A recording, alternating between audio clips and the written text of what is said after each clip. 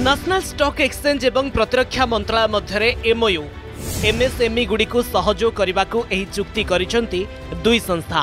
କେବଳ ଏମ୍ଏସ୍ଏମ୍ଇ ନୁହେଁ ପ୍ରତିରକ୍ଷା କ୍ଷେତ୍ରରେ ଆଗକୁ ବଢ଼ୁଥିବା କମ୍ପାନୀଗୁଡ଼ିକ ମଧ୍ୟ ତାର ବ୍ୟବସାୟିକ କାର୍ଯ୍ୟକଳାପ ବୃଦ୍ଧି କରିବା ନୂଆ ବଜାର ସନ୍ଧାନ ଏବଂ ସେମାନଙ୍କର ଗବେଷଣା ପାଇଁ ଆବଶ୍ୟକ ପାଣ୍ଠି ଯୋଗାଡ଼ରେ ଏହା ବିଶେଷ ସହାୟକ ହେବ। ଏହି ଚୁକ୍ତି ଅନୁସାରେ ଏମ୍ଏସ୍ଏମ୍ଇ ଗୁଡ଼ିକ କ୍ୟାପିଟାଲ ମାର୍କେଟ ଆକ୍ସେସ୍ କରିପାରିବେ। ଏନ୍ଏସ୍ସି ଇମର୍ଜ ପ୍ଲାଟଫର୍ମରେ ସ୍ୱଚ୍ଛତାର ସହ ପ୍ରତିରକ୍ଷା ବିଭାଗରେ କାମ କରୁଥିବା ଏମ୍ଏସ୍ଏମ୍ଇ ଗୁଡ଼ିକ ସେମାନଙ୍କର ଅଭିବୃଦ୍ଧି ଲାଗି ପାଣ୍ଠି ଯୋଗାଡ଼ କରିପାରିବେ ବୋଲି ପ୍ରତିରକ୍ଷା ମନ୍ତ୍ରଣାଳୟ ପକ୍ଷରୁ ଏକ ବିବୃତ୍ତିରେ କୁହାଯାଇଛି।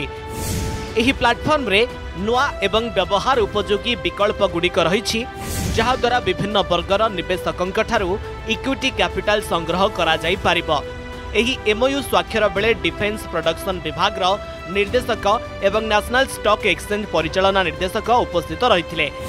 ଏହି ଏମ୍ଓୟୁର ଅବଧି ପାଞ୍ଚ ବର୍ଷ ରହିଛି। ଏହି ସମୟ ମଧ୍ୟରେ ଡିଡିଇ ଏବଂ ଏନ୍ଏସ୍ଇ ବିଭିନ୍ନ କର୍ମଶାଳାର ଆୟୋଜନ MSME camp knowledge session road show ଏବଂ ୱାର୍କସପ୍ ଜରିଆରେ କର୍ପୋରେଟ୍ ଗୁଡ଼ିକ ମଧ୍ୟରେ ସଚେତନତା ସୃଷ୍ଟି କରିବେ।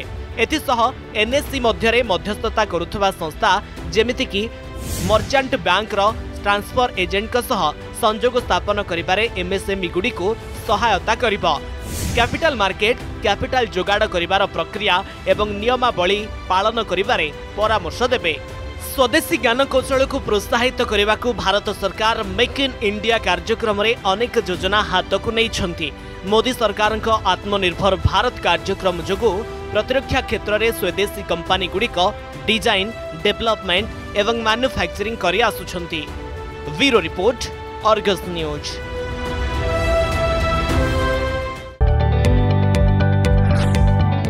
जदि आपण को आम भिडी भल लगा तेब आम चैनल को लाइक शेयर और सब्सक्राइब करने को जमा भी बुलां नहीं